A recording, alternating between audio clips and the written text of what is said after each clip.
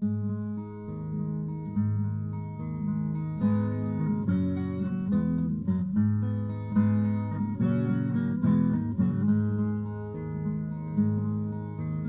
took off from Newark on a warm autumn day with 45 travelers and crew. They all were unarmed at the will of the law. Security passed them all through.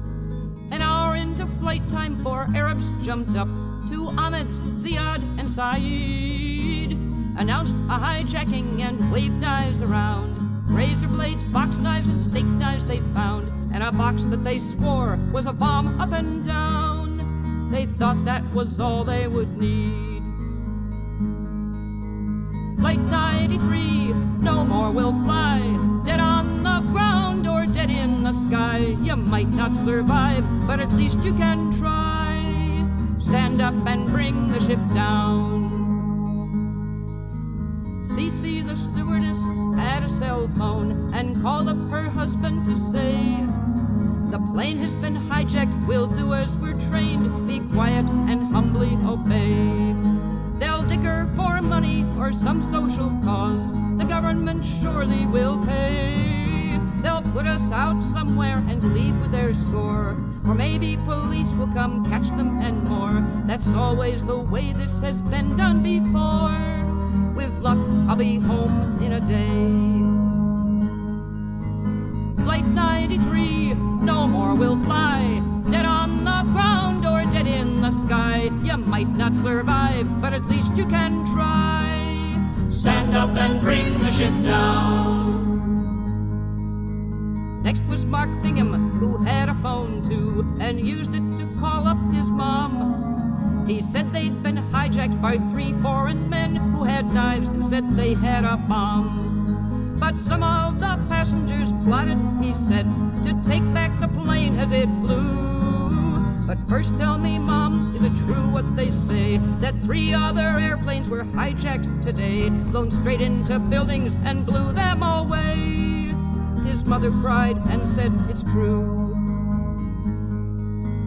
Flight 93, no more will fly. Dead on the ground or dead in the sky. You might not survive, but at least you can try. Stand up and bring the ship down. Jeremy Glick called his wife on the phone and told of the bomb and the knives. He said, if these stories we're hearing are true, we might as well fight for our lives. His wife told him, yes, the World Trade Center's hit, and maybe the Pentagon too. He left the phone hanging, then came back and said, We've nothing to fight with and may wind up dead, but we voted to stand up and fight them instead,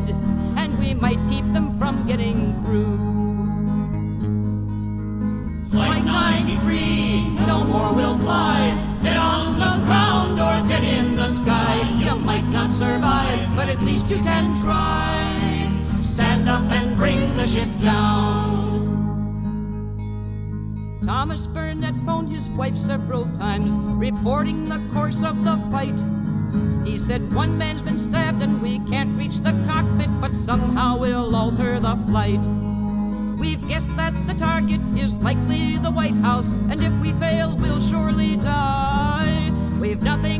Fight with except our bare hands, but we'll keep on trying until the plane lands. One way or the other, we've taken our stand. My darling, I love you. Goodbye. Flight 93, no more will fly. Dead on the ground or dead in the sky. You might not survive, but at least you can try. Stand up and bring the ship down. The whole tale. He'd signaled as well as he could. He saw that the terrorists still held the cockpit and one way to stop them for good. He watched while the passengers battled and died and knew that no help would be found. The guard was distracted, just one chance to win. There's one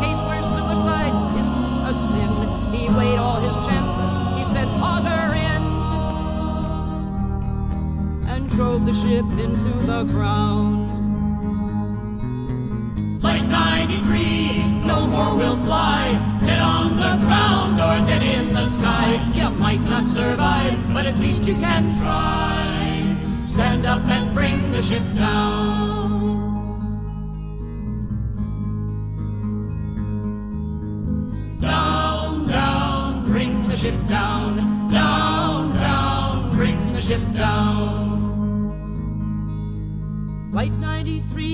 Ground at full speed, and no one aboard her survives.